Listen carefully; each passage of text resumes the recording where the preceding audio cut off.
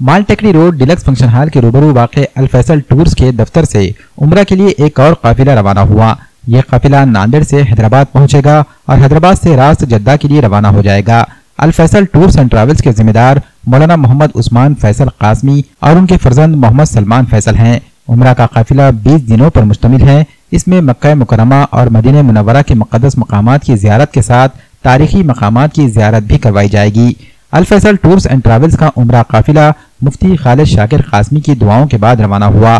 اس موقع پر مولانا مظہر الق کامل قاسمی، قاری محمد اسد سمدی، مولانا مفتی محمد ایوب قاسمی، مولانا مفتی محبوب حسن قاسمی، اعجاز عباسی، حافظ محمد اقبال، حسن خان، عبداللہ خان پٹھان، حافظ وسیم، حافظ اسلم چاؤز محمد لئیخ محمد سراج و دیگر موجود تھے۔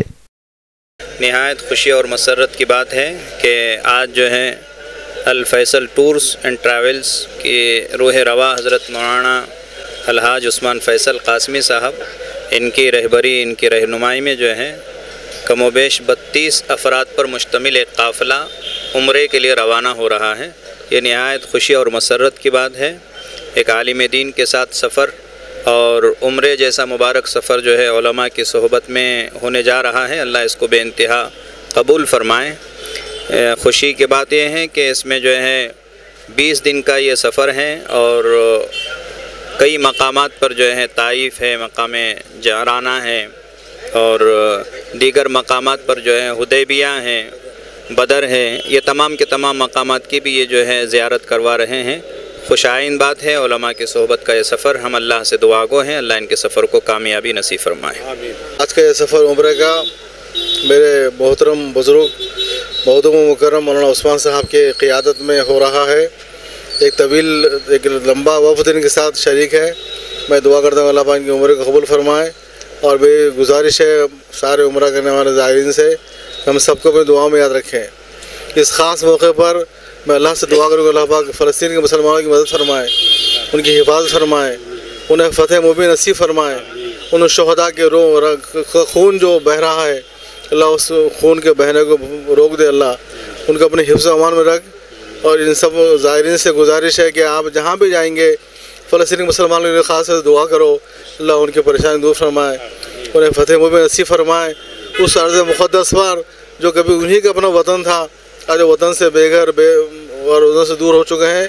اور خابص یہودی اور سوپر طاقتیں اس کی اس کی پشت پناہی کر رہے ہیں۔ اللہ ان پشت پناہ کرنے والوں کی پشت پناہ کو بھی ختم فرما دے، ان کے ہتھیاروں کو بے اثر کر دے۔ اس سفر کو اللہ ان کے مبارک کرے۔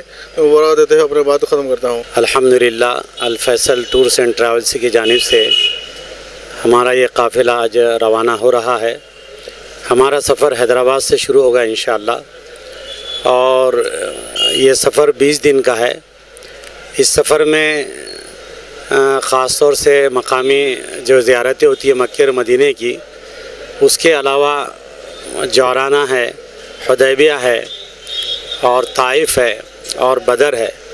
یہ تمام مقامات بھی ہمارے پیکیج کے اندر شامل ہے ہم پوری کوشش کریں گے کہ جو حضرات ہمارے ساتھ اس مبارک سفر پر چل رہے ہیں، انشاءاللہ انہیں کسی کی، کسی قسم کی کوئی تکلیف نہ ہو اور ان کی عبادات بہت اچھی طرح سے ہو اور جو ارکان ادا کرنے ہوں، انشاءاللہ وہ ہماری نگرانی میں اور ہماری ہی رہبری میں وہ سارے ارکان ہم مل کر ہی ادا کریں گے اور جہاں بھی جیسے بھی ہمارے ساتھیوں کو ہماری ضرورت پڑے گی، میں انشاءاللہ ساتھ میں ہوں اور ہمارے الفیصل ٹورز اینڈ ٹریولس کے محمد سلمان فیصل یہ بھی میرے ساتھی ہیں، تو ہم دونوں انشاءاللہ ان پورے گروپ کی خدمت کے لیے حاضر رہیں گے۔ آپ حضرات بھی دعا فرمائیں کہ اللہ تبارک و تعالی ہمارے سفر کو آسان فرمائے اور خاص طور سے فلسطین کے لیے ہم یہاں بھی دعا کر رہے ہیں اور انشاءاللہ جب جب وہاں پر ہمارے ہاتھ اٹھیں گے تو وہاں بھی ہم فلسطین کے لیے دعا کریں گے۔ کہ اللہ تبارک و تعالی انہیں فتح و نصرت سے مالا مال فرمائے۔